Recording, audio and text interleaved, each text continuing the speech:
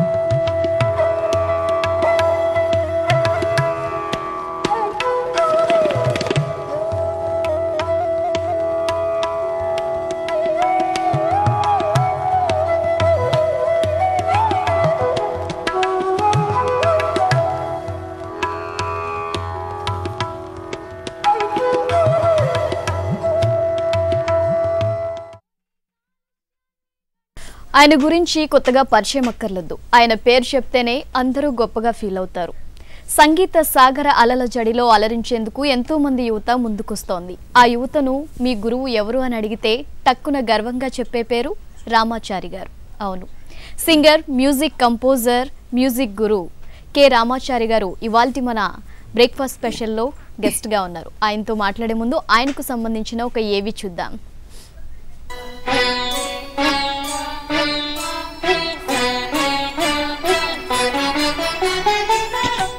పాటలపై మక్కువతో పల్లె నుండి పట్టణానికి పయనమై ఆకాశవాణిలో సరిగమలను సవ్యంగా పాడి సెహబాష్ అనిపించుకొని పాటల శాలను ప్రారంభించి ఎందరో కొత్త గొంతుకలకు రాగాలు నేర్పుతున్న గానాచార్యుడు మన కొమ్మండూరి రామాచారి. ఈనాటి బ్రేక్ఫాస్ట్ షోకి దూరదర్శన్ యాదగిరి సాదర స్వాగతం పలుకుతోంది.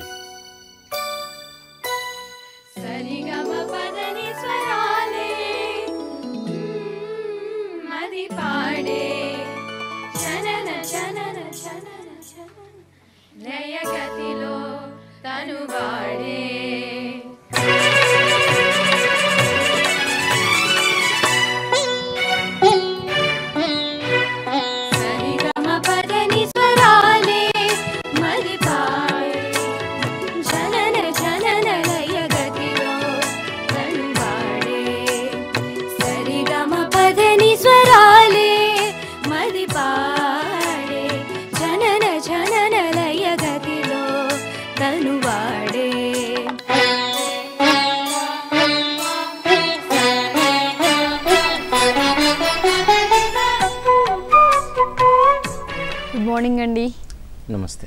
వెల్కమ్ టు బ్రేక్ఫాస్ట్ షో ఎలా ఉన్నారండి? బాగున్నానండి. బాగున్నారు చక్కగా ఆహ్లాదంగా ఉన్నాం. ముందుగా ఒక చక్కటి పాటతో మనం ప్రారంభిద్దాం.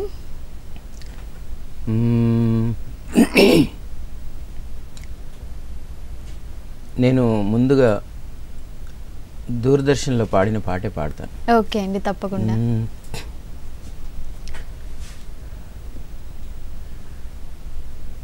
బాలభానుని లేత కిరణం నీకు ఆభరణం బాలభానుని లేత కిరణం నీకు ఆభరణం ధర్మశాస్తా మేలుకో ధర్మశాస్తా మేలుకో గలగల ప్రవహించు పంపా జలాలతో నీకు అభిషేకం ధర్మశాస్తా మేలుకో బాలభానుని లేత కిరణం నీకు ఆభరణం. ధర్మశాస్తా మేలుకో. అద్భుతం అండి ముందుగా మనం ఫస్ట్ నుంచి స్టార్ట్ చేద్దాం. మీ ఫ్యామిలీ గురించి చెప్పండి. అంటే మీ ఫ్యామిలీలో ఎవరైనా ఈ సంగీత సాహిత్యంలో ఎవరైనా ఉన్నారా? ఆ, మాదొక పల్లె జీవనం అండి. ఇక్కడ హైదరాబాద్కి దగ్గరలో మెదక్ జిల్లాలో పెద్ద గొట్టిముక్కల అని ఒక ఊరు. అక్కడ అడవి ఉంటుంది పల్లెటూరు. మా నాన్నగారు వేద పండితులు. పౌరోహిత్యం చేసేవారు గుళ్ళో అర్చకత్వం చేసేవారు. ఇది మా నేపథ్యం. చిన్నప్పటి నుంచి ఆ, ఆ గుళ్ళో జరిగే పూజలు మంగళహారతులు తర్వాత మా పల్లెటూళ్ళలో ఒగ్గు కథలు కోలాటం చెక్క భజనలు వీధి నాటకాలు తర్వాత స్నేహితులతో కలిసి ఆడుకోవడం మూటబావులు ఈత కొట్టడాలు గవర్నమెంట్ స్కూల్లో చదువు అంటే ఎలాంటి స్ట్రెస్ లేని చదువు. ఇలా హాయిగా పదిహేనేళ్ళు పల్లెటూళ్ళలో గడిపేశారు. హాయిగా గడిపేశాను ఆడుతూ పాడుతూ. ఇది నా చిన్నప్పటి నేపథ్యం. మా అమ్మగారు కూడా పాడతారు. మా నాన్నగారి పేరు కొమాండూరి కృష్ణమాచార్యులు గారు. అమ్మగారు యశోదమ్మ గారు. ఇంట్లో అంతా ఇవే పూజలు ఇలాంటివే ఉండేవి చిన్నప్పుడు. సో మీకు సంగీతం మీద ఏ ఏజ్ నుంచి మీకు ఇంట్రెస్ట్ పుట్టింది? అసలు నాకు ఊహ తెలిసినప్పటి నుంచి నేను పాడుతూనే ఉన్నాను. అంటే ఏది వింటే అది నాకు అంటే చిన్నప్పుడు ఊర్లో సంగీతం నేర్పించడాలు ఒక సంగీతం బడి కానీ మ్యూజిక్ టీచర్స్ కానీ అలాంటిది లేదు. అసలు ఆ ఊహ కూడా లేదు. ఇలా సంగీతంలో కోర్స్ ఉంటుంది చేస్ ఈ సరళి స్వరాల నుంచి ఇలా మనం నేర్చుకోవాలి అనేది ఊహ కూడా లేదు. ఊర్లో మా గుళ్ళో పాడే మంగళహారతులు తర్వాత రేడియో ముఖ్యంగా. రేడియో ఉండేది మాకు మా ఇంట్లో కూడా ఉండేది మా పంచాయతీ రేడియో కూడా ఉంది. పంచాయతీ ఆఫీస్ ముందు పెద్ద గ్రౌండ్ ఉండేది అక్కడే ఆడేవాళ్ళం మేము అందరం. అన్ని అన్ని కార్యక్రమాలు వింటూ ఉండేవాళ్ళం అక్కడ. మా సాంగ్స్ దగ్గర నుంచి పాడి పంట దగ్గర నుంచి అన్నీ. అలా రేడియోలో వినే పాటలు అందులో వచ్చే సంగీత కార్యక్రమాలు బాలానందం బాల వినోదం ఇవన్నీ వింటూ నాలో కూడా ఒక నేను పాడాలి అనే ఒక ఒక స్ఫూర్తి నాకు కలిగింది. అంటే నాకు తెలియకుండానే నాకు పాటలన్నా మ్యూజిక్ అన్నా పిచ్చి. ఎక్కడ సం ఎక్కడ మ్యూజికల్ సౌండ్ వినిపిస్తే అటు పరిగెత్తేవాడిని. ఎక్కడ సౌండ్స్ వినిపిస్తే అక్కడికి వెళ్ళిపోయేవాడిని. సో ఊర్లో కోలాటం అవన్నీ కూడా అందులో పార్టిసిపేట్ చేసేవాడిని. నేను పాడేవాడిని మధ్యలో కూర్చొని.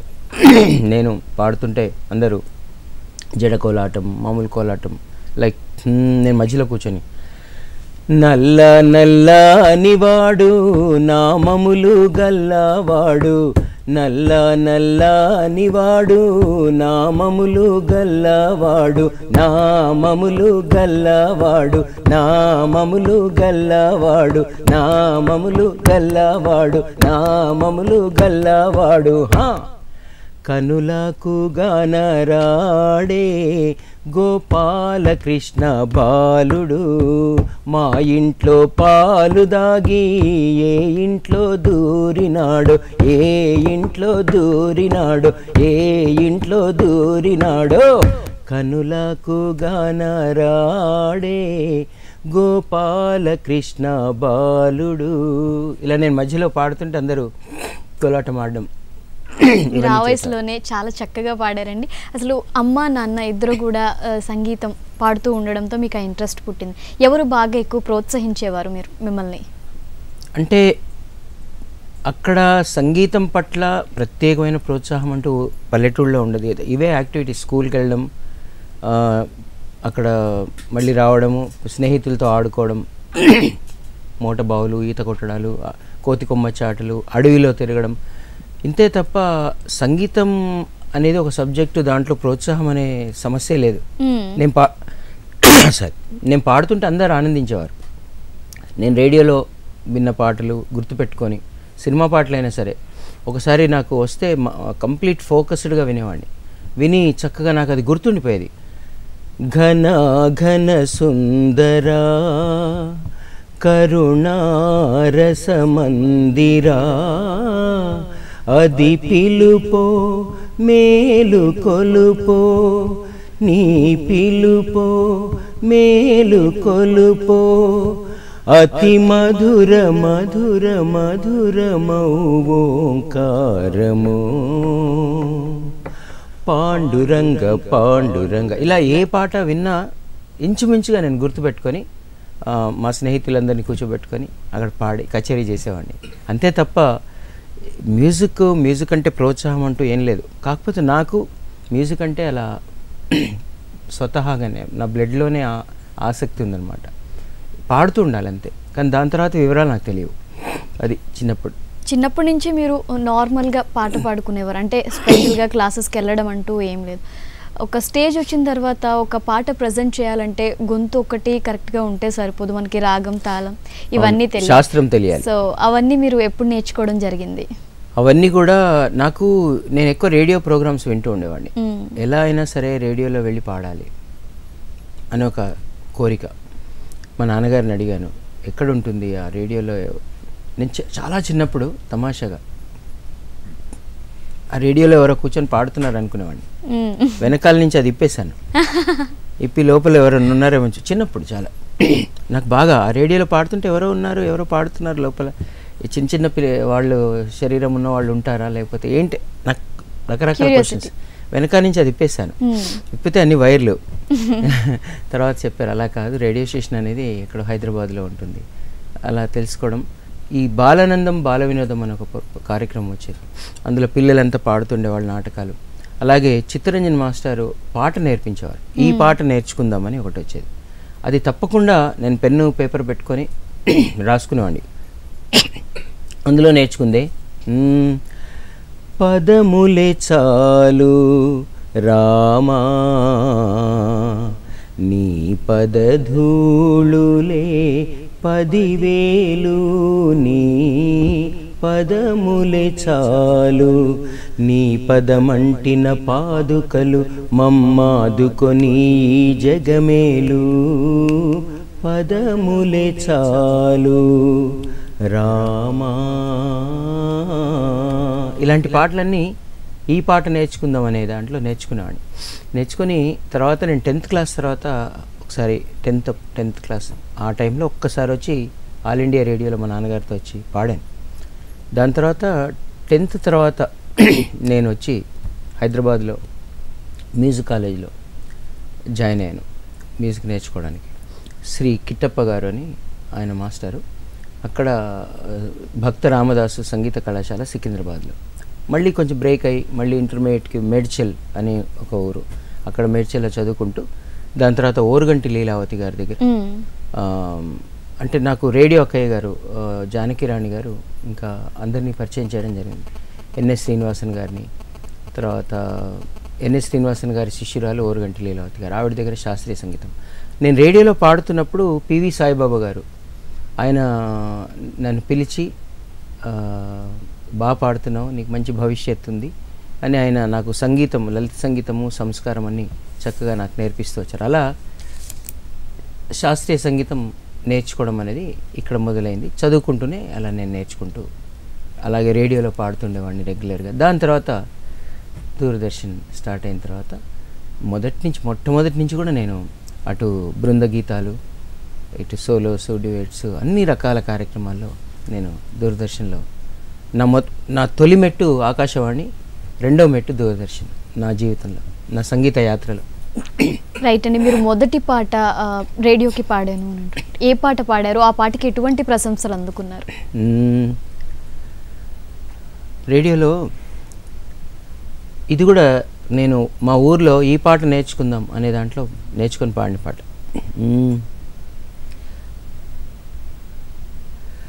బ్రతుకంతా ఇది నీ కోసం.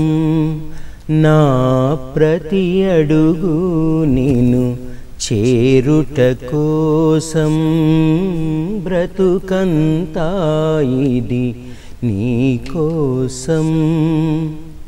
హృదయము భావము ఊహాలోకము కళలు కైతలు కమ్మని తలపులు కన్నుల నిలిచే ఎన్నో కాంక్షలు అన్నీ అన్నీ విని కోసం. బ్రతుకంతా ఇది నీకోసం ఇది కూడా నేను ఫస్ట్ రేడియోలో పాడిన పాట. దాని తర్వాత మా గురుగారు సాయిబాబు గారు ఫస్ట్ నేర్పించిన పాట జననీ జగదీశ్వరి పరాత్పరి శరణాగత జన అభయంకరీ జననీ జగదీశ్వరి పరాత్పరి ఇలా ఒకటి ఒకటి నేర్చుకుంటూ ఉండడం ప్రతి సండే వచ్చి పాడుతూ ఉండడం ఇలా కంటిన్యూస్గా జరిగింది. రైట్ అండి. మీరు ఇలా పాడుతూ పాడుతూ పాడుతా తీయగాకి మీరు మీ జర్నీ ఎలా జరిగింది? అసలు పాడుతా తీయగల అవకాశం అనేది మీకు ఎలా వచ్చింది? అవునండి. అప్పుడు నేను చాలా చెప్పాను కదా చాలా ఆకాశవాణి దూరదర్శన్లో పాడుతుండేవాడిని. దాని తర్వాత ద మ్యూజిక్ గ్రూప్ అనే ఒక ఆర్కెస్ట్రా కృష్ణ నీరజ్. వాళ్ళ సంగీత దర్శకత్వంలో కూడా నేను చాలా పాడాను. దూరదర్శన్లో. అలాగే మా గురువుగారు సాయిబాబా గారి సంగీత దర్శకత్వంలో తర్వాత పాల్గుమి విశ్వనాథం గారి స్వర కల్పనలో ఎన్నో పాడాను. ఒక పాట అది కూడా పాడతాను. పాల్గుమి గారి పాట శశాంక్ గారు రచించిన పాట. నేల నవ్వుతోందా రాగాల రూవుతోందా పూలకారు పుడమి పైన యాత్ర సాగుతోందా నేల నవ్వుతోందా రాగాల రూవుతోందా పూల కారు పుడమి పైన యాత్ర సాగుతోందా? నేల నవ్వుతోందా?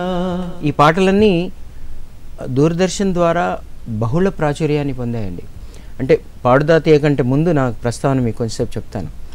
దూరదర్శన్లో నాకు ఒక ఎంత పేరు వచ్చిందంటే నాకు నేను చాలా సాంగ్స్ పాడానండి. ఇటు భక్తి గీతాలు పాడాను అయ్యప్ప స్వామి పాటలు ఇటు లలిత గీతాలు పాడాను. బృంద గీతాలు పాడాను. నేను ఒక నేను పాడిన ఒక పాట ఇంకోటి. జైహింద్ రెడ్డి గారు రాశారు.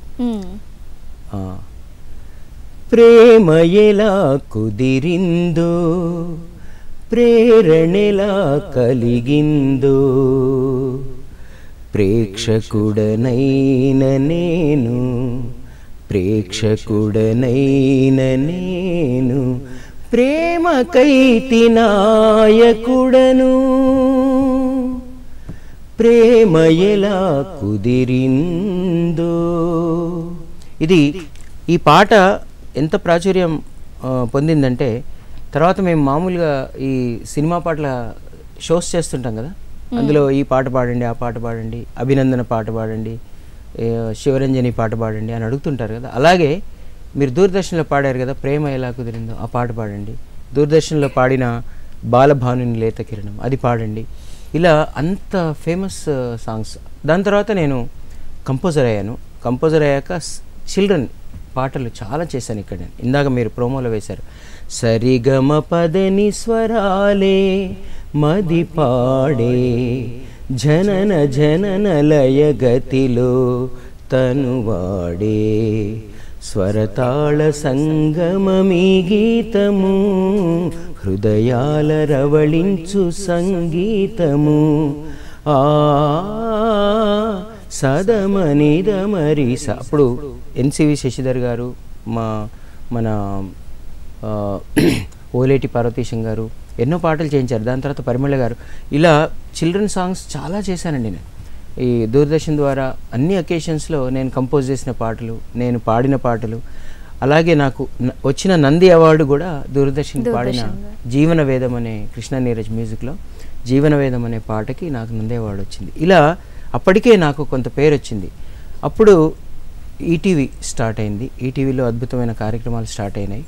పాడుతా తీగ అనే మొట్టమొదటి రియాలిటీ షో ఉండేది. మొత్తం సౌత్ ఇండియాలోనే ఫస్ట్ రియాలిటీ షో అది.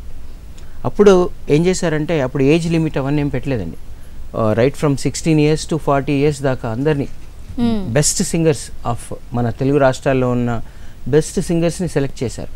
సెలెక్ట్ చేసి అందులో మళ్ళీ షార్ట్ లిస్ట్ చేసి అందులో మమ్మల్ని డైరెక్ట్గా పిలిచారు. అప్పటికే బాగా కొంచెం కొంచెం. పేరున్న వాళ్ళకి పిలిచి ఆడిషన్ చేసి అందులో నేను కూడా సెలెక్ట్ అయ్యాను. మొట్టమొదటి రియాలిటీ షోలో మొట్టమొదటి బ్యాచ్ మాది. అందులో అది మెగా షో నాకు తెలిసి యాభై అరవై ఎపిసోడ్స్ షో అది. దాంట్లో నేను ఫైనలిస్ట్ అనమాట నేను ఫైనల్ దాకా చేరాను. ఎన్నో సాంగ్స్ పాడాను.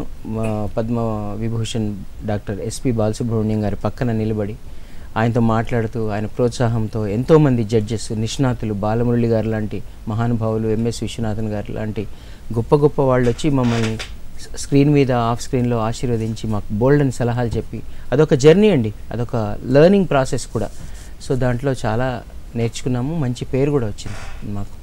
రైట్ అండి. మీకోసం గర్వించదగ్గ విషయం ఏంటంటే ఎయిటీన్ ఇయర్స్గా మీరు లిటిల్ మ్యూజిషియన్ అకాడమీని నిర్విరామంగా నిరాటంకంగా నిస్వార్థంగా నడిపిస్తున్నారు. అసలు ఈ సంస్థ స్థాపించడానికి గల ముఖ్య ఉద్దేశం ఏంటంటారు? అంటే ఒకటి ఉందండి పరంపర అంటారు. ఏదైనా ఏదైనా స్కిల్ ఒక తరం నుంచి నెక్స్ట్ తరానికి అందకపోతే అది కిల్ అవుతుంది. Skill will kill. Become kill. ఆ స్కిల్ పోయి కిల్ అయిపోతుంది. అందులో నేను పాడుతా తీగ తర్వాత ఇంకా చాలా అప్పటికి ఇంకా చాలా ఛానల్స్ వచ్చాయి. జమిని ఇంకా ఎన్నో ఛానల్స్ రావడం అన్నిట్లో మేము రెగ్యులర్గా నేను పార్టిసిపేట్ చేయడం తర్వాత నేను సీరియల్స్కి మ్యూజిక్ డైరెక్షన్ చేయడము సంగీత కార్యక్రమాల్లో జడ్జిగా ఉండడము మెంటర్గా ఉండడం ఇలా తర్వాత కొన్ని సినిమాలకు నేను అసిస్టెంట్గా పనిచేశాను. కండక్ట్ చేశాను. కొన్ని సినిమాల్లో నేను పాడాను. ఫస్ట్ నా ఫస్ట్ పాట బాలరామాయణంలో మాధవపేది సురేష్ గారు పాడించారు. తర్వాత కోటి గారు నాతో శ్వేతనాగులో పాట పాడించారు. అందాలకే అనే పాట ఉంది. ఒకే ఒక డివెట్ ఉంటుంది అందులో. అది నేనే పాడాను. తర్వాత సంబరం సినిమాలో నక్కతోక అనే ఒక పాట పాడాను. తర్వాత శ్రీరామదాసుకి కిరవాణి గారికి నేను కొన్ని కండక్ట్ చేశాను అసిస్ట్ చేశాను. అందులో కూడా చరణములే నమ్మితిలో నేను పాడాను. ఇలా అప్పుడప్పుడే సినిమా ఇండస్ట్రీ ఇక్కడికి వచ్చింది షూటింగ్స్ అవన్నీ అవుతున్నాయి. కానీ సంగీత శాఖ ఇంకా చెన్నైలోనే జరుగుతుంది సంగీతం అంటే మ్యూజిక్ రికార్డింగ్స్ అన్నీ చెన్నైలోనే జరుగుతుండేవి. తర్వాత రిక్వైర్మెంట్ పెరిగింది సింగర్స్ రిక్వైర్మెంట్ చాలా సంగీత భరిత కార్యక్రమాలు అన్ని ఛానల్స్లో చేస్తున్నారు. అలాగే ఆర్కెస్ట్రాస్ పెరిగాయి. మొత్తం హ్యాపెనింగ్స్ పెరిగాయి. కార్యక్రమాలు. కానీ అప్పటికే మన దగ్గర లలిత సంగీతము లలిత శాస్త్రీయ సంగీతం పాడే కొంతమంది గాయని గాయకులు మాత్రమే ఉన్నారు. సినిమా ఇండస్ట్రీ ఇక్కడికి వచ్చి షూటింగ్స్ అన్ని జరుపుకుంటోంది. మ్యూజిక్ రికార్డింగ్స్ అన్నీ చెన్నైలో జరిగేవి దాని కారణం ఏంటంటే కోరస్ సింగర్స్ కావాలి మనకి. ఇప్పుడు మనం అనుకుంటాము సినిమాలో పాడడానికి నాలుగు నాలుగైదు పాటలు పాడడానికి సింగర్స్ కా అది మెయిన్ కాదు. బ్యాక్గ్రౌండ్ స్కోర్ అని ఒకటి ఉంటుంది. బ్యాక్గ్రౌండ్ స్కోర్లో ఒక్కొక్క సినిమాకు ఇరవై ముప్పై మంది వాయిసెస్ కావాలి వోకల్స్. అలా మన దగ్గర సినిమా ఇండస్ట్రీ ఇక్కడ ఇక్కడ రికార్డింగ్స్ నాలుగైదు స్టూడియోలో అవ్వాలంటే ఒక వంద మంది సింగర్స్ అన్న ఉండాలి ఇక్కడ. వంద రెండు వందల మంది కోరస్ పాడడానికి ఉండాలి మ్యూజిక్ అసిస్టెంట్స్ ఉండాలి కో ట్రాక్స్ పాడడానికి ఉండాలి. ఇలా అప్పటికే నేను ఆల్ సైన్స్ హై స్కూల్లో నేను జాబ్ చేస్తూ నేను పాడుతుండేవాడిని.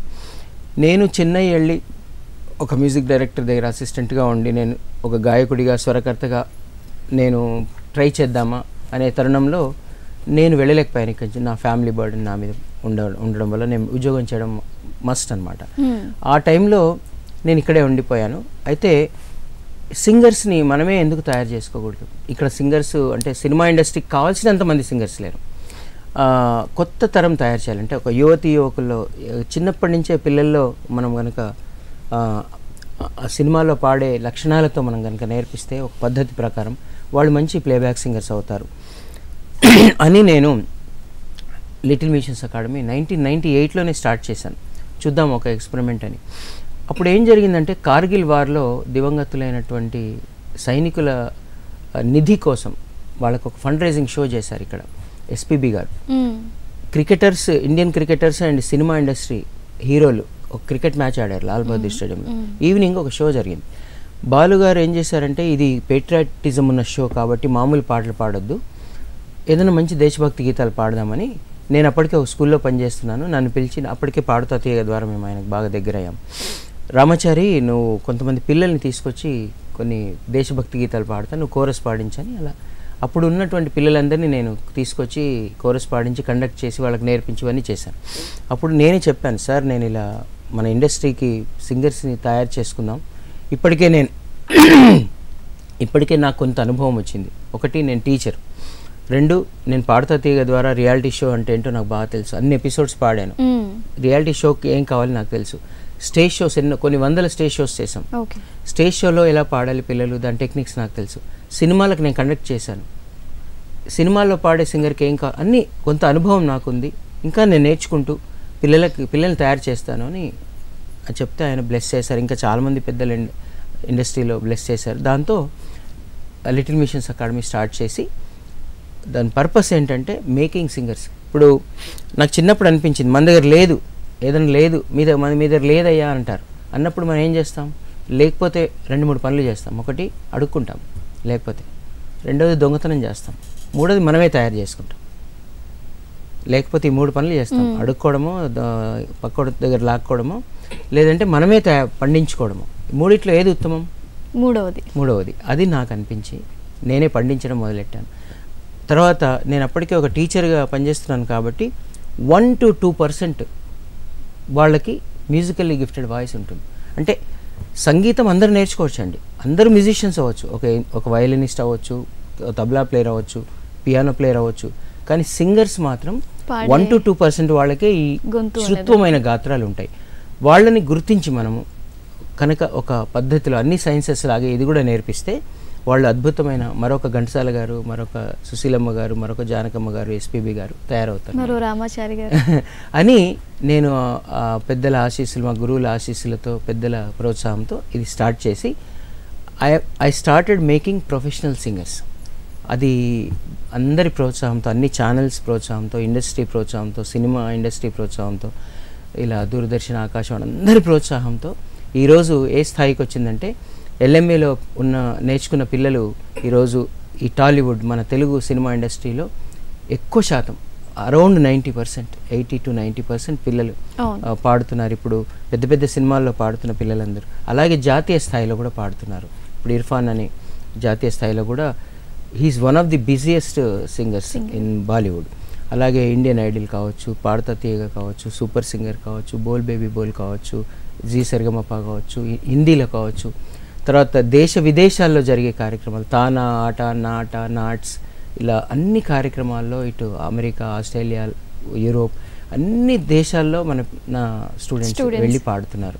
తర్వాత మన కార్యక్రమాలు ఎన్- ఎన్ని కార్యక్రమాలు ఇక్కడ కూడా దూరదర్శన్లో కూడా సంగీత భరిత సంగీత ప్రధానమైనటువంటి అనేక కార్యక్రమాల్లో పాడుతున్నారు. అందరి ఆశీస్సులు మెప్పును పొందుతున్నారు. సుమారుగా ఇప్పటి వరకు మీరు ఎంతమందిని ఆ సంగీత ప్రపంచానికి అందించుంటారు? నేను ఎప్పుడు లెక్క పెట్టుకోలేదు. నా పని నేను చేసుకుంటూ వెళ్తాను. అంటే నేను ఈ రికార్డ్స్ ఇవన్నీ ఏది నేను మెయింటైన్ చేయనండి. ఇప్పుడిప్పుడు మా స్టూడెంట్సే పెద్దగా అయ్యారు ఇప్పుడిప్పుడు వాళ్ళు ఒక వెబ్సైట్ పెట్టి అలా ఇప్పుడు స్టార్ట్ అయిందండి. ఇంతకుముందు ఒకటే గోల్ నాది. నా శాయశక్తులా నేను మంచి సింగర్స్ని తయారు చేయాలి. పిల్లల్ని హంట్ అంటే టాలెంట్ హంట్ చేయడం వాళ్ళని తీసుకురావడం వాళ్ళ పేరెంట్స్కి కౌన్సిలింగ్ చేయడం వాళ్ళ పేరెంట్స్ని కన్విన్స్ చేయడం వాళ్ళకి నేర్పించడం. ఎందుకంటే ఇప్పుడు ఒక మూసలో వెళ్ళిపోతున్నారు అందరూ. అందరూ పొద్దునుంచి రాత్రి దాకా పిల్లల్ని చదివిస్తున్నారు. పొద్దున ట్యూషన్స్ ఈవినింగ్ ట్యూషన్స్ మధ్యాహ్నం స్కూలు. ఇంకా చదువు తప్ప వాళ్ళల్లో ఉండే స్కిల్స్ అన్నీ కిల్ అయిపోతున్నాయి.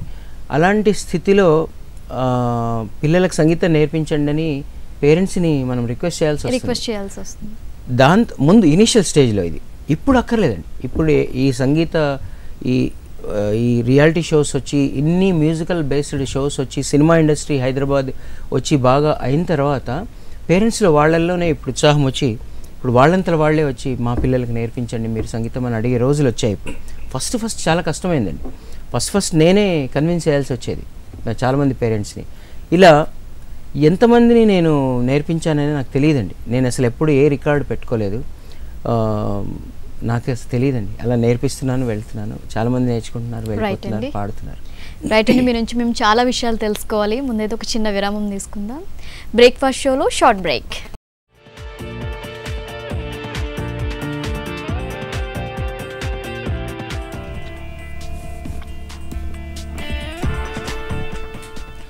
welcome back to breakfast show okay అండి. మీరు పాడిన పాటల్లో ఒక మంచి భక్తి పాట మా కోసం పాడండి. నేను శ్రీరామదాస్ సినిమాలో చరణములే నమ్మితిలో నమ్మితి నా నేను కూడా పాడాను. మధు బాలకృష్ణ గారితో పాటు. చరణములే నమ్మితి చరణములే నమ్మితి నీ దివ్య చరణములే నమ్మితి చరణములే నమ్మితి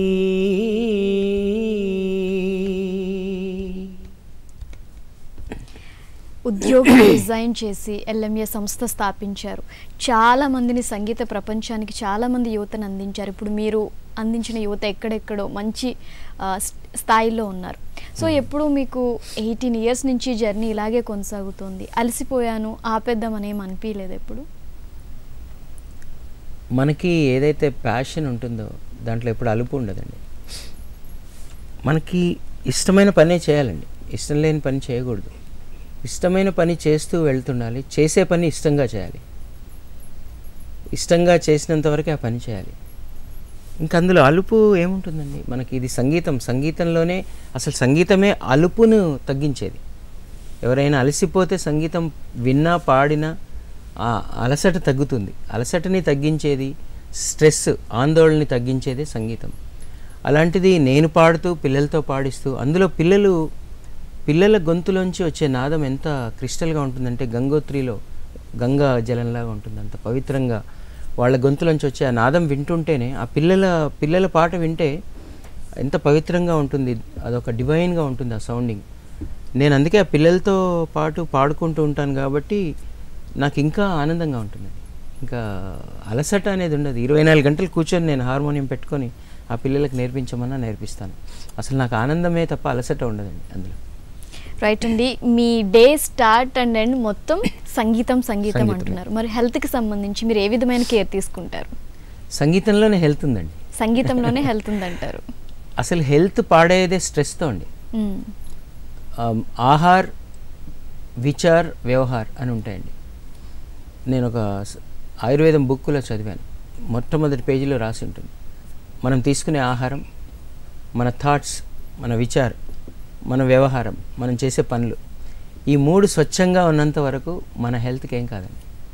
ఆహార్ విచార్ వ్యవహార్ ఎంత స్వచ్ఛంగా ఉంటాయో మన హెల్త్ అంత స్వచ్ఛంగా ఉంటుంది. అనేది నేను బాగా నాకు చాలా ఇన్స్పైర్ చేసిన మూడు వాక్యాలు అవి అలాగే నేను చేసే పనులు ఏంటండి? ఆహారం కూడా మంచి ఆహారమే తీసుకుంటానండి. అలాగే సంగీతంతో ఉంటాను పిల్లలతో ఉంటాను. ఇంకా పిల్లలతో ఉన్నప్పుడు మనలో ఉండే పొల్యూషన్ కూడా పోతుందండి. అసలు పెద్ద పెద్దగా అయిన కొద్దీ మనకు పొల్యూషన్ ఉంటుందండి. నాకు కూడా ఉంటుంది. అందరికీ థాట్ పొల్యూషన్ ఉంటుంది. మనలో కూడా ఏవో పొల్యూటెడ్ థాట్స్ వస్తాయి. కానీ ఆ పిల్లలు అనేది ఔషధం అండి. ఆ పిల్లలతో మనం ఉంటే అన్నీ మర్చిపోతాం. వాళ్ళే మనకు డాక్టర్స్ ఆ పిల్లలే మనల్ని ఇప్పుడు నేను బాగుండడానికి మా స్టూడెంట్సే కారణం అండి. వాళ్ళ మొహం చూసి వాళ్ళతో పాడుకుంటుంటే అన్నీ పోతాయి. సో మొత్తం అందరూ ఇంకా మీరు యువతరాన్ని సంగీత ప్రపంచానికి అందించడమే కాకుండా ప్రెసెంట్ కూడా మీ వాళ్ళు కూడా సింగర్స్ ఎలా అనిపిస్తుందండి? ముందు మా తమ్ముడు కూడా సింగరే లక్ష్మణాచారి అని. తను మెదక్ జిల్లాలో సైన్స్ టీచర్గా పనిచేస్తున్నాడు. తను రైటర్ కూడా పాటలు రాస్తాడు. మన సంక్షేమ గీతాలు ఏదన్నా అంశం తీసుకొని పిల్లలకి మోటివేటివ్గా బాగా చదువుకోవాలి చదువు విలువ ఇవన్నీ తను పాడతాడు సంగీతం రాస్తాడు తర్వాత నేర్పిస్తాడు. మా అబ్బాయి సాకేత్ కొమాండూరి. తను ప్లేబ్యాక్ సింగర్ ఇప్పుడు చాలా సినిమాలో పాడుతున్నాడు. మా పాప సోనీ కొమాండూరి బాహుబలి టూలో పాడింది హంసనామ పాట పాడింది. తనే. మా అబ్బాయి నమో వెంకటేశాలో తర్వాత చాలా సినిమాల్లో పాడుతున్నాడు మ్యూజిక్ డైరెక్షన్ చేస్తున్నాడు ఇప్పుడు. కన్నుల్లో నీ రూపమే అని సినిమా రిలీజ్ రిలీజ్కి ఉందన్నమాట ఇప్పుడు. అలాగే తెలంగాణ బ్రెత్లెస్ అని చాలా ఫేమస్ సాంగ్ పాడాడు తను. ఇలా మా మిసెస్ కూడా తను లిటరేచర్ తను. ఇప్పుడు పిహెచ్డి చేస్తుంది తెలుగు సాహిత్యంలో. ఇలా ఇంట్లో అంతా సంగీతము సాహిత్యము అలాగే నా మిత్రులు మా LMA families LMA family members అందరూ కూడా కూడా వాళ్ళకి సంగీతము సాహిత్యం ఇదే అట్మాస్ఫియర్లో మేము గడుపుతుంటాం జీవనం. మిమ్మల్ని ఒక ప్రశ్న అడగాలనుకుంటున్నాను. చెప్పండి. మీకు శ్రేయోభిలాషులు అలాగే ఫ్యామిలీ మెంబర్స్ అందరూ చాలా సలహాలు ఇస్తారు. సో ఈ ఎల్ఎంఏ సంస్థ స్థాపించినప్పుడు ఎటువంటిది ఎక్స్పెక్ట్ చేయకుండా ఎవరి దగ్గర నుంచి ఫ్రీగా మీరు సంగీతం ఒక పద్దెనిమిది ఏళ్ళుగా చేస్తున్నారు ఈ సర్వీస్? సో ఇప్పుడు చాలామంది మనకున్న దాంతో సంపాదించుకోవాలి అనే ఉద్దేశంతో ఉంటారు. అంటే మీకు ఎవరు సలహా ఇవ్వలేదా? ఎందుకు మీరు ఫ్రీగా చేస్తున్నారు? ఇలా చేస్తే మీకు ఇంకా ఆస్తులు పెరుగుతాయి. సమ్ ఉంటుంది కదా. అలా ఎప్పుడైనా. ఎవరైనా సలహాలు ఇస్తే మీరు ఎలా రియాక్ట్. అయ్యేవారు అసలు? ముందు నాకు అన్నిటికంటే అదృష్టం మా కుటుంబం అండి. మా కుటుంబంలో ఎవరు కూడా డబ్బు అనే మాట ఎప్పుడు మాట్లాడరు. మ్మ్. సంపాదించాలి. అంటే సం- అంటే financial management also is very very important. ఇప్పుడు నేనే ఫైనాన్షియల్గా కుంగిపోతే. నేను ఇంకేం సేవ చేయగలను? తప్పకుండా ప్రతి వాళ్ళు నేను ఇచ్చే సలహా ప్రతి వాళ్ళు జీవితంలో స్థిరపడాలి ఫైనాన్షియల్గా స్థిరపడాలి. ఫైనాన్షియల్ మేనేజ్మెంట్ హెల్త్ మేనేజ్మెంట్ ఈ మేనేజ్మెంట్స్ అన్నీ కూడా ఎక్కడ మీరు దేన్ని కూడా నెగ్లెక్ట్ చేయకూడదు. అయితే ఎంత సంపాదించాలి? దానికో అంత ఉండదు ఇంకా సంపాదన అనేది. నేను ఎలాగూ నేను ఆల్ సైన్స్ హై స్కూల్లో జాబ్ చేసేవాడిని. మా మిస్సెస్ జాబ్ చేసేది. తర్వాత నేను ఒక చిన్న ఇప్పుడు జాబ్ మానేశాక బిజినెస్ పెట్టుకు నాకు ఒక రికార్డింగ్ స్టూడియో ఉంది ఇప్పుడు. నేను మ్యూజిక్ డైరెక్టరు. నేను షోస్ చేస్తాను. బ్యాండ్ ఉంది. నేను దేశ విదేశాల్లో షోస్ చేస్తాను. నా సంపాదన నాకు ఉందండి. భగవంతుడు తల్లి లాంటివాడు. మన కడుపు నింపుతాడు. మనకి కావాల్సిన సదుపాయాలన్నీ భగవంతుడు కల్పిస్తాడు. కాకపోతే మనము ఐడియల్గా ఉండకూడదు లేజీగా ఉండకూడదు. మనం పని మనం చేస్తూ ఉండాలి. నేను సండే సండే నేను ఫ్రీగా మ్యూజిక్ నేర్పిస్తాను. అలాగే ఎవ్రీ బుధవారం రవీంద్ర భారతిలో తెలంగాణ రాష్ట్ర ప్రభుత్వం సాంస్కృతిక శాఖ వాళ్ళు నాకు ఒక ప్లేస్ ఇచ్చారు సంగీతం నేర్పించడానికి రవీంద్ర భారతిలో. అక్కడ కూడా ప్రతి బుధవారం నేర్పిస్తున్నాను. ఇలా రెండు రోజులు నేను నేర్పిస్తాను. మిగతా రోజులు నాకు స్టూడియో ఉంది. నా నేను మ్యూజిక్ డైరెక్షన్ చేస్తాను. ఇప్పుడు టీటీడీ ప్రాజెక్ట్స్ చేస్తున్నాను నేను. అలా చాలా డబ్బులు వచ్చే పనులు చాలా చేస్తుంటానండి నేను. డబ్బు సంపాదిస్తుంటాను. నాకు కావాల్సినంత దేవుడు ఇస్తున్నాడు. మా ఇంట్లో అందరం కష్టపడతాం. మా అబ్బాయి కూడా ఇప్పుడు షోస్ చేస్తున్నాడు. మా పాప కూడా షో చదువుకుంటూనే. తర్వాత స్కైప్ క్లాసులు చెప్తారు. పొద్దున్నే యుఎస్ వాళ్ళకి. ఇలా ఎక్కడ అవకాశం ఉంటే అక్కడ డబ్బు సంపాదిస్తున్నానండి. ఇది మాత్రం ఒక ఒక ఆశయంతో నేను ఎందుకంటే ఒక పర్పస్ ఒక గోల్తో చేస్తున్నాను. ఇక్కడ కనుక మనీ మధ్యలో వస్తే నా పర్పస్ నా గోల్కి చాలా ఆటంకాలు ఉంటాయి. ఇప్పుడు నేను చాలా స్వచ్ఛంగా ఇది పని చేయగలుగుతున్నాను. అంటే కోహినూరు వజ్రాలను అందించగలుగుతున్నాను. ఎప్పుడైతే కమర్షియల్ అవుతుందో ఫోకస్ పోతుందండి. దాని మీద ఉండదు. సో అందుకోసం ఈ యజ్ఞం మాత్రం ఒక థ్యాంక్స్ గివింగ్ లాగా ఈ సొసైటీకి కావచ్చు భగవంతుడికి కావచ్చు. ఎందుకంటే నా నేను ఈరోజు ఈ స్థితిలో ఉండడానికి ఎంతోమంది నాకు హెల్ప్ చేశారు. అలాగే మా గురువులు కూడా నా దగ్గర డబ్బులు తీసుకోలేదు. ఎంతోమంది పెద్దలు నాకు హెల్ప్ చేశారు. ఈ సొసైటీలో చాలామంది నాకు నన్ను ప్రోత్సహించి ఈ స్థితికి తీసుకొచ్చారు. So this is only just like thanksgiving అండి. కాబట్టి మన మనము పుట్టి పెరిగినందుకు ఇన్ ఇన్ని ఇచ్చాడు దేవుడు. మంచి ఫ్యామిలీ ఇచ్చాడు మంచి శరీరం ఇచ్చాడు టాలెంట్ ఇచ్చాడు మంచి మిత్రుల్ని ఇచ్చాడు.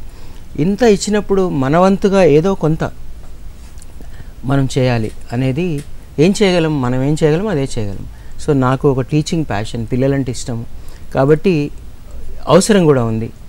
చక్కగా ఈ పరంపరని కాపాడుకునే అవసరం. మా క్లాస్లో నేను మ్యూజిక్ ఒకటే చెప్పనండి. మ్యూజిక్తో పాటు సంస్కారం మానవత్వం తర్వాత మాట తీరు ప్లానింగ్ ఈ మేనేజ్మెంట్స్ ఇవన్నీ కూడా నాకు తెలిసినంత వరకు చెప్పి నాకు తెలియనివి సెమినార్స్ వర్క్షాప్స్ కండక్ట్ చేసి నేర్పిస్తుంటాను. రైట్ అండి ఇంకా మనం మిగతా విషయాలు మాట్లాడుకుంటే బాలు గారితో మీ అనుబంధం ఏ విధంగా ఉండేది? బాలు గారితో అందరికీ అనుబంధం ఉంటుందండి. యాక్చువల్గా గాయకులందరికీ ఆయన కుటుంబ పెద్ద లాంటి వారు ముందుగా ఆయన ఒక మంచి మనిషి. ఆయన ఎంత బాగా పాడతారో ఆయన పాట ఎంత బాగుంటుందో ఆయన వ్యక్తిత్వం కూడా అంతే బాగుంటుందండి. సో మా అందరికీ ఆయన ఒక పుస్తకం. ఆయనను చూసి ప్రతి గాయని గాయకులు నేర్చుకోవాలి. ఆయన పాడే విధానం కానీ ఆయన నేర్చుకునే విధానం కానీ ఆయన సంగీతానికి ఇచ్చే విలువలు మనుషులకి ఇచ్చే మనుషులతో సంబంధాలు తర్వాత ఆయనకి ఎంత పవిత్రమైన భావం ఉంటుందంటే ఆయనకి ఈ మన సంగీత శా శాఖ అన్నా మన ఛానల్స్ అన్నా లేకపోతే సినిమా ఫీల్డ్ అన్నా ఎంత కృతజ్ఞతతో ఉంటారు ఆయన. అంటే ఒకటి కాదండి ఆయన పాట ఆయన మాట ఆయన థాట్ ప్రాసెస్ అన్నీ కూడా ఒక పుస్తకంలాగా మేమందరం చదువుకోవాలి. సో నేను కూడా నా క్లాసెస్లో ఆయన దృష్టిలో పెట్టుకొని కూడా పిల్లలకి ఒక గాయని గాయకులు ఎలా ఉండాలనేది నేను నేర్పిస్తుంటాను. ఆయనతో మాకు పాడుతా తీయగాతో ఒక బంధం ఏర్పడి ఆయన కుటుంబంలో మేము ఒక కుటుంబ సభ్యుల్లాగా అయిపోయాము. ఇంకా అంతకంటే ఇంకా నేను చెప్పేది లేదు. ఎల్ఎంఏని బాగా ప్రోత్సహిస్తుంటారు ఆయన. నేను చేసే పనులకి ఆయన అండదండలు ఆశీస్సులు ఎప్పుడు ఉంటాయి. అలాగే ఒక పాట నేర్చుకోవాలంటే మన గొంతు ఒక్కటే ఇంపార్టెంట్ కాదు చాలా తెలిసి ఉండాలి. సో ఎటువంటి ప్రాక్టీస్ చేస్తే ఒక మంచి పాటను మనం అందించగలం అంటారు? ఎవరైనా సరే శాస్త్రీయ సంగీతం నేర్చుకోవాలి. అది మదర్ బోర్డ్ అండి. అక్కడి నుంచే వస్తుంది ఆ పవర్ అంతా. ఇప్పుడు మనం స్విచ్లో మనం. లగ్గు పెట్టి అక్కడ ఆన్ చేస్తే అక్కడి నుంచి ఎలా అయితే కరెంట్ వస్తుందో. అలాగే ఈ శాస్త్రీయ సంగీతం అనే దాంట్లోంచే పాటలోంచి వచ్చే రాగం కానీ తాళం కానీ జ్ఞానం అంతా అక్కడి నుంచే వస్తుంది. శాస్త్రీయ సంగీతం నేర్చుకోకుండా కూడా పాడొచ్చు. కానీ మనకు లిమిటేషన్ ఉంటుంది. Hmm. మనకి తెలియకుండా పాడతాం తెలిసి పాడం. మ్మ్. అంటే ఈ సంగీతం అనేది పాడడం అనేది దైవదత్తం. కోయిలకు ఎవరు పాట నేర్పించారు? తర్వాత జానపద కళాకారులు పాడుతుంటారు. వాళ్ళే రాసి వాళ్ళే స్వరపరిచి పాడుతుంటారు. ఎంత అద్భుతంగా పాడతారు. అసలు మనకి ఒక ఉత్తేజం కలిగించేంత బాగా పాడతారు. అయితే దీనికి కూడా ఒక శాస్త్రాన్ని మనకు రూపొందించారు. మన పెద్దలు ఋషులు సంగీతంలో ఎంతోమంది రీసెర్చ్ చేసి అన్నీ ఒక ఒక ఫిజిక్స్ ఒక మ్యాథమెటిక్స్ ఒక కంప్యూటర్స్కి ఎలా ఒక శాస్త్రం ఒక సిలబస్ చేశారో సంగీతం కూడా ఇలా నేర్చుకుంటే ఇంకా మనకి పూర్తి స్థాయిలో తెలుస్తుంది. మనం ఏం చేస్తున్నాం సంగీతంలో? మనం పాడేటప్పుడు ఏం జరుగుతుంది? అక్కడ ఏ స్వరం వస్తుంది? ఏ తాళం వస్తుంది? తప్పులు లేకుండా పాడగలుగుతాం. గ్రామర్ తెలుస్తుంది ఫార్ములా తెలుస్తుంది. కాబట్టి ప్రతి వాళ్ళు కూడా శాస్త్రీయ సంగీతం మినిమం అట్లీస్ట్ వర్ణాల దాకా నేర్చుకోవాలి. నేర్చుకుంటే వాళ్ళకి రాగము తాళము స్వరము అనే జ్ఞానం వస్తుంది. దాని తర్వాత వాళ్ళు ఏ జానర్ పాడినా అది చాలా రాణిస్తుంది. కాబట్టి ఇటు సాహిత్యము అటు సంగీతము అటు శాస్త్రీయ సంగీతము ఇటు భాష రెండిటి మీద పట్టు గనక ఉండి మనము పెద్ద పెద్ద వాళ్ళు విద్వాంసులు పాడిన పాటలు ఎప్పుడూ వింటూ దాన్ని అబ్జర్వ్ చేస్తూ అదే లోకంలో కనుకుంటే ఇప్పటి తరం వాళ్ళు చాలా మంచి గాయని గాయకులు అవుతారు. అలాగే మీరు ఎల్ఎంఏ సంస్థ యుఎస్లోని ఆస్ట్రేలియాలోని ఇంకా చాలా చోట్ల స్టార్ట్ చేశారు. సో సంగీతం సంగీతానికి భాష ఉంటుందా ఉండదా సంగీతం? అసలు అక్కడ ఎలా ఏ భాషలో మీరు నేర్పిస్తున్నారు? సంగీతం అనేది ఒక సౌండ్ అండి. ఇదే భాష. చెప్పలేం ఏ భాష ఏ భాషలో అయినా పెట్టచ్చు ఇప్పుడు లా లా లా లా లా లా లా లా లా లా లా లా లా లా లా లా లా లా ఇది ఉంది నా దీనిలో తెలుగులో పాడొచ్చు ఇదే ట్యూన్ నా చెలి. రోజావే నాలో ఉన్నావే నిన్నే తలిచేనే నేనే దీన్నే కాదల్ రోజావే ఎంగే నీ ఎంగే అని పాడొచ్చు రోజా జానే మన్ తూ హీ మేరా దిల్ అని పాడొచ్చు అంటే ఈ సంగీతం అనే నాదానికి లాంగ్వేజ్ లేదండి. యూ ఆ మై రోజా అని ఇంగ్లీష్లో పాడొచ్చు. ఇంకొక భాషలో పాడొచ్చు. సంగీతం అనేదే అదొక it's a language of hearts అంటారు. మామూలుగా మనం ఏ భాష పెట్టకుండా మనం ఆ స్వరాలు రాగాలాపన పాడుతుంటేనే అందులోనే ఒక కమ్యూనికేషన్ ఉంటుంది. అందులోనే మనం మనం ఆలాపనతోనే మనం కమ్యూనికేట్ చేయొచ్చు ఎదుటి వ్యక్తిని. అందుకే మీకు దీనికి ఉదాహరణ బ్యాక్గ్రౌండ్ స్కోర్ మీరు ఇప్పుడు మన దగ్గర సీరియల్స్ వచ్చినా సినిమాలైనా వెనకాల బ్యాక్గ్రౌండ్ స్కోర్ చూడండి. కొన్ని కొన్ని చోట్ల మనకు డైలాగ్స్ ఉండవు. ఓన్లీ బ్యాక్గ్రౌండ్ స్కోర్తోనే మనకు అది కమ్యూనికేట్ అవుతుంది ఆ స్టోరీ సో ఇలా అమెరికాలో మొట్టమొదటిసారి నేను ఇక్కడ ఈ పిల్లలందరూ సక్సెస్ అవ్వడం సినిమా సింగర్స్ అవ్వడం రియాలిటీ షోస్లో పాడడం చూసి సిలికాన్ ఆంధ్ర ఆనంద్ గారు నన్ను ఫస్ట్ టైం టూ థౌజండ్ నైన్లో కాలిఫోర్నియా తీసుకెళ్ళి అక్కడ పిల్లలకి సంగీతం నేర్పించారు. దాని తర్వాత ఈరోజు అన్ని పట్టణాల్లో అమెరికాలో సుమారు పది బిగ్ సిటీస్లో ఎల్ఎంఏ యుఎస్ఏ అని పెట్టారు. పెట్టి ఎవ్రీ ఇయర్ నేను అక్కడికి వెళ్ళి ఈ మధ్య కాలంలో తానా సంస్థ వారి సహకారంతో లోకల్ తెలుగు అసోసియేషన్స్ వారి సహకారంతో అలాగే ఎల్ఎంఏ యుఎస్ఏ అనే ఒక కోర్ కమిటీ మాకుంది. అందరి సహకారంతో పేరెంట్స్ సహకారంతో అక్కడ ఎవ్రీ సమ్మర్లో జూన్ జూలై ఆగస్టులో అక్కడ పిల్లలు కూడా నేర్చుకుంటున్నారు.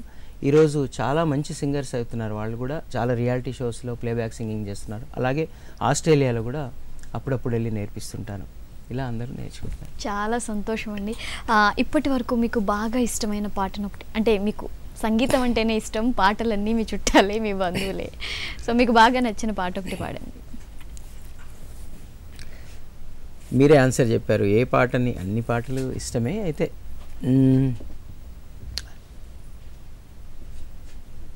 జగమే మారినది మధురముగాయి వేళ. కలలు కోరికలు తీరినవి మనసారా. జగమే మారినది మధురముగాయి వేళ మనసున మనసై బ్రతుకున బ్రతుకై తోడు కరుండిన అదే భాగ్యము అదే స్వర్గము स्वर्गमु। కచాంద్ హో याफताब हो, जो भी हो तुम खुदा की कसम लाजवाब हो। चौदवी का चाँद हो प्रेम मधुरम ప్రియురాలు అంత కఠినం. చేసినాను ప్రేమ క్షీరసాగర మథనం మింగినాను హలాహలం. ప్రేమ ఎంత మధురం. సంగీత సాహిత్య సమలంకృతే. పదయోగ సమభూషితే హే భారతీ మనసా స్మరామి శ్రీభారతీ శిరసా నమామి రైట్ అండి మీకు అన్ని పాటలు ఇష్టమని ఒక పాట పాడమంటే అన్ని పాడి వినిపించారు చాలా అద్భుతంగా. అండ్ మీ రోల్ మోడల్ ఎవరు? అలా ఉండదండి. ఇప్పుడు మనం చాలా చూస్తుంటాం. ఒక్కడిని చూడం కదండి. అసలు మీ మీకు ఇష్టమైన ఒక్క సింగర్ ఎవరు? ఒక్క పాట ఏంటి? ఒక్క మనిషి ఎవరు? మంచి మనుషులందరూ రోల్ మోడల్స్ అండి. ఎన్ ప్రతి రంగంలో ఏ రంగం తీసుకున్నా ప్రతి రంగంలో చాలామంది ఉంటారండి. వాళ్ళందరూ రోల్ మోడల్సే. మనం అలా ప్రతిరోజు చూస్తుంటాం. అలా ఒక్కళ్ళంటూ ఉండరండి. చాలామంది ఉంటారు. ఎంతోమంది మనల్ని ఇన్స్పైర్ చేస్తారు. ఇంకా చేస్తూనే ఉంటారు. అండ్ పాత గాయని గాయకుల్లో మీకు ఎవరంటే బాగా ఇష్టం? అంటే మీ ముందు. తరం వాళ్ళు అంటే మీరు చిన్నప్పటి నుంచి అనుకుంటారు కదా ఘంటసాల గారి పాటలు వింటూ లేదంటే వేరే సింగర్ పాటలు వింటూ. అది కాదండి అసలు. ఏమనంటే డిప్లొమసీ అంటారు. డిప్లొమసీ కాదండి. ఎవరైనా ఎలా ఒకళ్ళు ఇష్టం అని ఉంటారు. ఇప్పుడు ఏ పాటని ఇప్పుడు మొహమ్మద్ రఫీ గారు పాడతారు. మధుబన్ మే రాధికా నాచే రే అని కిషోర్ కుమార్ గారు అన్నారు. పల్ పల్ దిల్ కే పాస్ తుమ్ రహతీ హో మన్నాడే గారు ఉన్నారు पूछो न कैसे मैंने रैन बिताई యేసుదాస్ గారు ఉన్నారు జబ్ దీప్ జలే ఆనా జబ్ శామ్ ఢలే ఆనా పాడుతా తీయగా చల్లగా. ఘంటసాల గారు. ఎంతమంది ఎవరని మనము బుజ్జి బుజ్జి పాపాయి బుల్లి బుల్లి పాపాయి నీ బోసి నవ్వులలో పూచే పున్నమి వెన్నెలలోనే. పిబి శ్రీనివాస్ గారు తెలుసుకొనవే యువతి అలా నడచుకొనవే యువతి. ఏం రాజా గారు? ఎంతమంది అండి? ప్రియా ప్రియతమా రాగాలు సఖీ కుశలమాందాలు. మనం అన్నా అసలు సుశీలమ్మ గారు జానకి గారు ఎవ- ఎవరు నేను చెప్పను నేను? మా పిల్లలతో సహా మా స్టూడెంట్స్తో సహా వాళ్ళ పాటలు కూడా నాకు ఇష్టం. Right thank you so much అండి. మీ విలువైన సమయాన్ని ఇంతసేపు మాకు కేటాయించి చాలా మాతో షేర్ చేసుకున్నారు. మీరు ఇలాగే ఎల్ఎంఏ సంస్థ లాంటి సంస్థలు ఎన్నో స్థాపించాలి ఎంతో మంది యువతను సంగీత ప్రపంచానికి అందించాలని కోరుకుంటూ థ్యాంక్ యూ సో మచ్ అండి. మరొకసారి దూరదర్శన్ ప్రేక్షకులకి దూరదర్శన్కి నా కృతజ్ఞతలు. నన్ను నా స్టూడెంట్స్ని కూడా చాలా చాలా ఎంకరేజ్ చేస్తున్న ఈ సంస్థ ఇది. తప్పకుండా ఎప్పుడు నేను దూరదర్శన్కి ఆకాశవాణికి నేను ఎప్పుడు రుణపడి ఉంటాను. ఎప్పుడు మన ప్రోగ్రామ్స్లో నేను పాత్రధారిగా ఉంటాను. Thank you. సో మచ్ అండి. చూసారు కదా ఇది వాళ్ళ బ్రేక్ఫాస్ట్ షో. చూస్తూనే ఉండండి. దూరదర్శన్ యాదగిరి.